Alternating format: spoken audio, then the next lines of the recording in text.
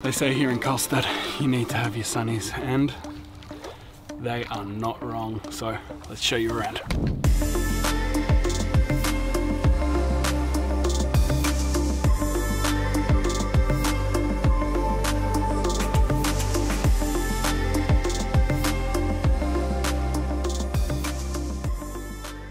Good morning everybody. Good morning. And welcome to sunny Karlstad. It is a beautiful day here today, thank God, because we are in the second sunniest place in Sweden after Öland. which was raining the whole time. and we've actually been here for a few days and it has been raining the whole time. So we've kind of just rested, recuperated, and recovered from the few weeks of travel and filming. It's been pretty intense these past few weeks, so It has it's been, been. nice to be here and just relax. It is a university city, so there's lots of young people walking around, which is really nice. It's got a good vibe to it. And it's a beautiful day today. So I think we should start off by going to the most common coffee shop in all of Sweden.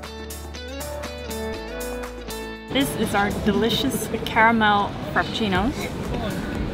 Mm. They're so good. This place here, Espresso House, they've got them all over Sweden. At least two or three in every town you go to. And these uh, frappuccinos, by the way, usually don't look like this. They're usually prettier in plastic cups, and they usually look like this. So when we were in Stockholm, I bought a jumper when we were doing the Instagram photo day. And the jumper had a hole in it, so I had to go and return it. And we went to another three H&Ms that day, and we went to one in every single city that we visited until we got here.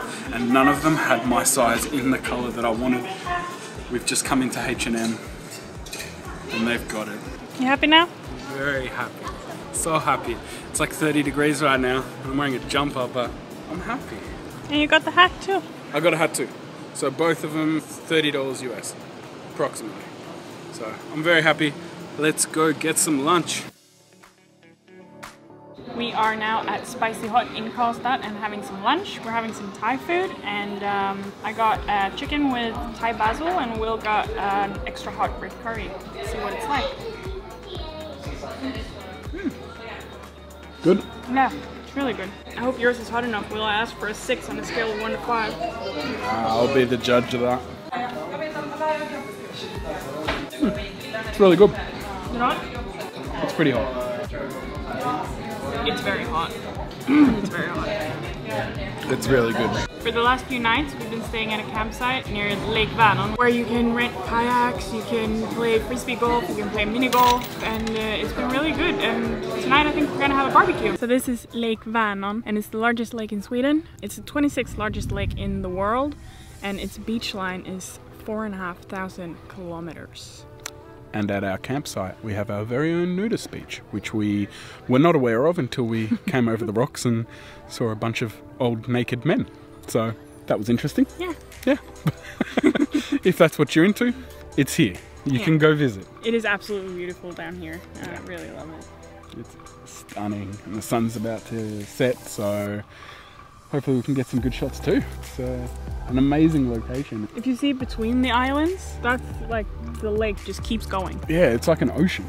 The crazy thing to me is that it's 4,500 kilometers, and the distance from Sweden to the other side of the world, Melbourne, is about 19,000 kilometers. So the fact that driving around this lake would be equivalent to a quarter of the way to Melbourne, that just blows my mind. Insane. What a place. Woo. Yeah, that's cold. That's Cold? really cold. Not swimming weather. Cold. Time to head home and light the barbecue. You ready? I'm ready. You ready for Feed some barbie?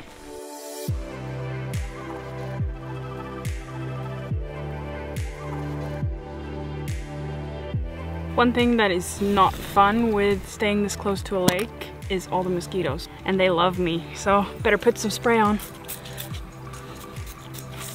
As soon as the sun goes down, it gets pretty cold, so I had to put on a jumper. We got Will's favorite hot dogs, the salsicha ghost chili, and they're really hot, but they're really good. Very, very yummy. Got the potato bag. Yum! Did You. you turn off the oven?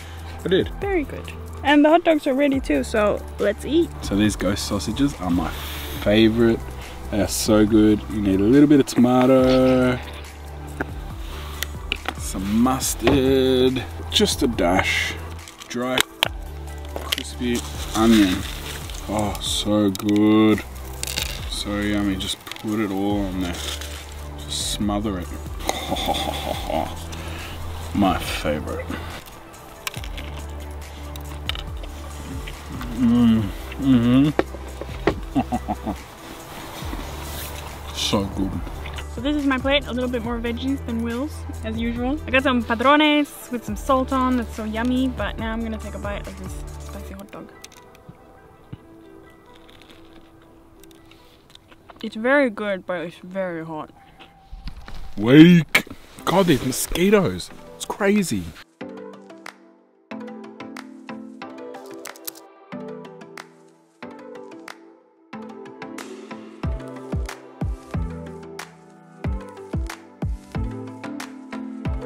Good morning, everyone. Good morning. It is now the next day, and it is a little bit late in the day as well because we had a bit of a sleep in. We were meant to get up early, go for a kayak, but that didn't happen. So we had to head off on the road. We had to get out of the campsite, pack up the tent, and head towards Gothenburg. And we wanted to stop at another spot where we could show you just how huge and amazing this lake is. And we found this incredible little spot where a fortress used to lay. Where are we? Mellerud, and the fortress was called Dalaborg, and it's the only fortress from the Middle Ages Yeah. in this county. So it was here in the 1300s. So the fortress was built on this little extra bit of land which is pretty much surrounded by water with only one entry point from the land. And all the brushes and trees were cleared so that they could uh, have a good viewpoint to make sure that if any enemies were coming towards them that they could hit them with bow and arrows or even cannons early day cannons. So that's really really cool. But i think that one of the coolest things about this fortress is that when winter hits this whole lake freezes and turns to ice so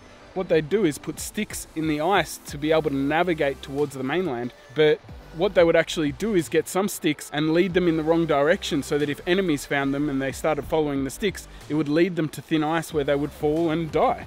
So that's really cool. The castle was also built up here uh, to create like a natural defense. Yeah. So that the enemies would have to go uphill and the, the soldiers that were in the castle could shoot down. And that's also why it's surrounded by water. That's also like a natural defense thing. Yeah.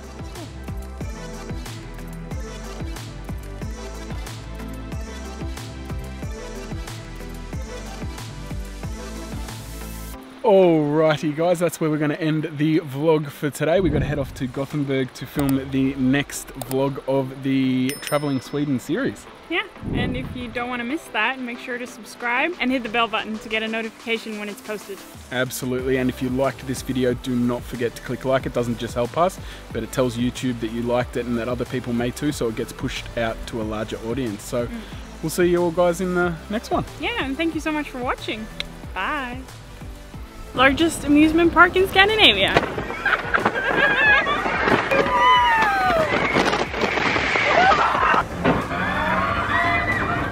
We are here in Gothenburg's Lake.